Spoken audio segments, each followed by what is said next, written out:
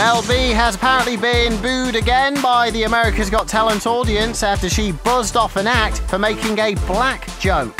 According to US website TMZ, a comedian at the New York City auditions began to tell a joke about how black taxi drivers are more entertaining than other taxi drivers. The Spice Girl then instantly buzzed him off, but the audience had enjoyed the joke and allegedly booed her. The 37 year old said that she found it really offensive and there was no need to do a stereotypical black joke.